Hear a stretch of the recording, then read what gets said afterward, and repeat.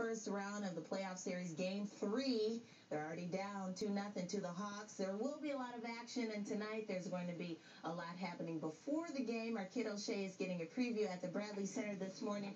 And, Kidd, you're wearing your Bucks red, too. That's the message.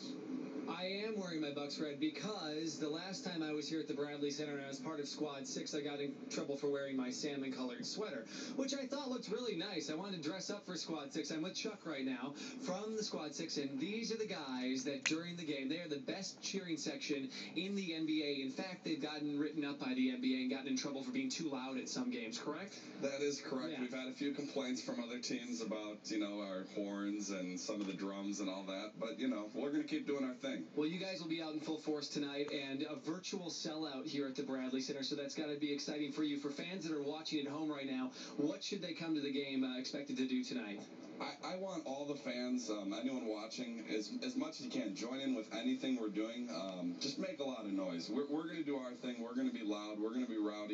Don't be afraid to get out of your seats, stand up, jump around, you know, join in on our chants and heckling of the other players. We'd love it. It's funny when they told me I was going to be in Squad 6, I'm like, oh, this will be fun. They stand during the entire thing. I'm like, I'd like to sit down and at least have a beer for a little bit, but you can't do that when you're in Squad 6, and they do a great job. I want to bring in John Steinmiller with the Bucks. An exciting time for the organization, and let's talk about tickets. Virtual sellout tonight. Right, we're down to a few uh, single seats and some. Uh, we have a couple pairs left. Bucks.com or one 800 4 NBA ticks.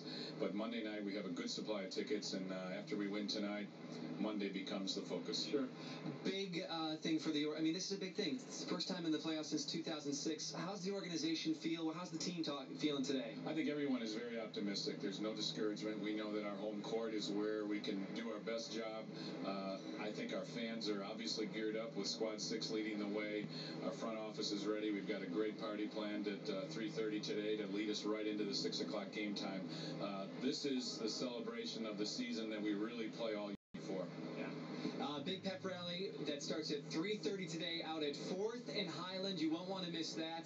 Uh, Six Pack will be performing. Uh, if you don't have tickets to the show or to the game tonight, the show, it will be a show. Uh, the game tonight, that's fine. You can still take part in that and wear red if you're headed down here. Back to you, Portia. Okay, it's a red out. Thank you very much, Kidd. Enjoyed being with you today. All right, let's check the forecast. It's